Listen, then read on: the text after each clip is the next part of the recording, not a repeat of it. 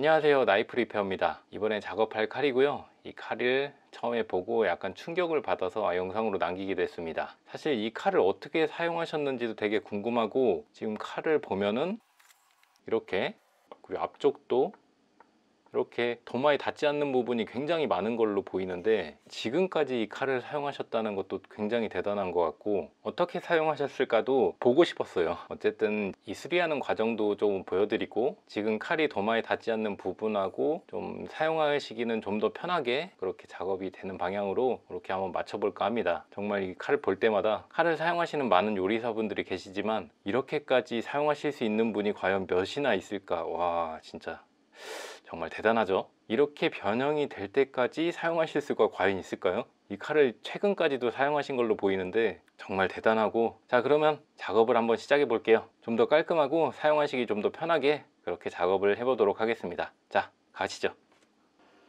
자 처음으로는 이 날선을 맞춰 줄게요. 바르게 그리고 라운드가 있게 이렇게 맞춰 줄 겁니다. 자 날선을 맞춘 작업 상태고요. 지금 칼 라인이 이렇게 라운드로 맞춰진 상태입니다. 이 상태에서 칼날 쪽을 이렇게 보면 날 쪽 끝에가 굉장히 두꺼운 걸 볼 수 있어요. 이 두께도 한번 재볼게요 이 두께가 보통 1mm가 넘어가면은 굉장히 두껍다고 판단하고 이 두께가 1mm가 넘어가게 되면 재료가 뭐 쪼개지거나 아니면 칼맛이 떨어지거나 날 저항이 아무래도 많이 걸리니까 날 느낌이 굉장히 좋지 못할 수 있습니다. 그럼 한번 두께를 재볼게요 지금 날 완전 끝에가 0.99 1mm 정도 딱 나오네요. 지금처럼 이렇게 두꺼운 날에서 다음 작업으로는 이 날 두께를 줄여주는 작업을 할 거고요. 칼마다 이 줄일 수 있는 범위가 좀 다양하게 있고 지금 칼 같은 경우는 조금은 너무 얇은 날을 만들어 주면 이 칼이 버티지 못할 수 있어서 조금은 두께감이 있게 그렇게 날 두께를 줄여줄 예정입니다. 자 그럼 다음 작업으로 넘어가시죠 날 두께는 날 끝의 두께가 조금씩 다르기 때문에 이 날 끝의 두께에 따라서 다 틀릴 수가 있으니까 조금씩 조금씩 연마하면서 전체적으로 날 두께가 일정하게 맞춰줄 예정입니다. 자 그럼 작업 시작할게요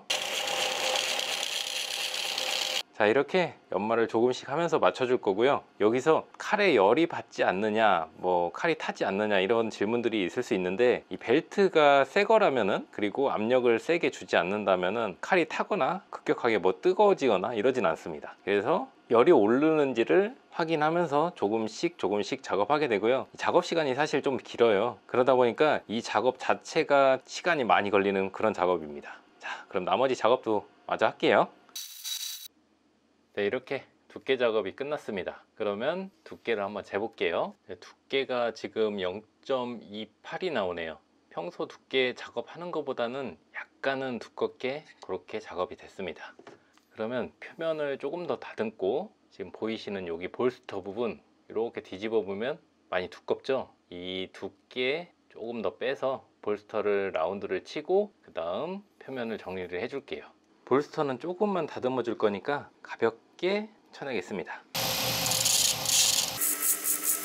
네, 볼스터 작업이 이렇게 끝났고 라운드를 이렇게 만들었습니다. 이제 표면 연마를 하고 마지막으로 날 끝에 정리를 해 보도록 할게요. 면 연마 하면서 이 칼등 부분이랑 여기 볼스터 부분도 조금 더 연마를 해줄 거예요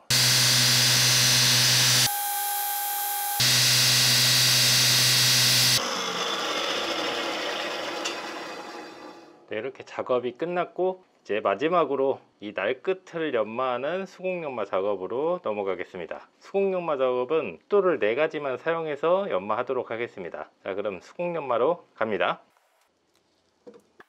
네, 숫돌은 여러 종류가 있는데 주력으로 사용하는 건 이렇게 네 가지를 사용하고 있어요. 400번, 1000번, 5000번, 12000번 이렇게 네 가지를 사용하고 있습니다. 이번에도 연마할 때 이렇게 네 가지를 사용해서 연마하도록 할게요. 네 우선 400번 숫돌을 사용할 거고요. 이 볼스터 나이프를 연마하실 때 저번에 영상에서 남겨드렸는데 어떻게 연마하는 게 좋은지 이쪽 위에 상단에 보시면은 이쪽에서 이 볼스터 나이프 어떻게 연마하는지 보실 수 있습니다. 필요하신 분들은 이쪽 영상에서 확인하시면 좋겠습니다. 400번에서 시작을 할 거고 칼코부터 연마를 시작할게요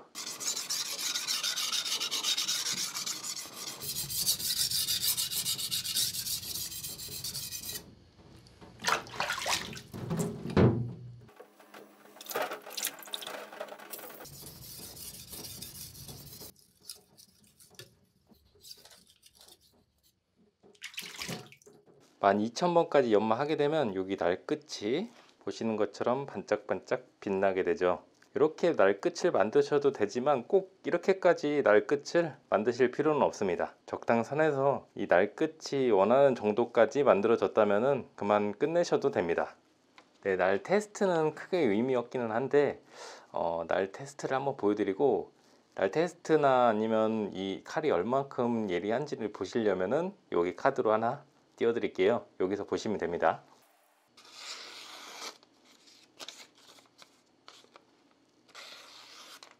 자, 이렇게 작업이 끝났고요. 칼 세척하고 마무리 하도록 할게요. 잠시만요.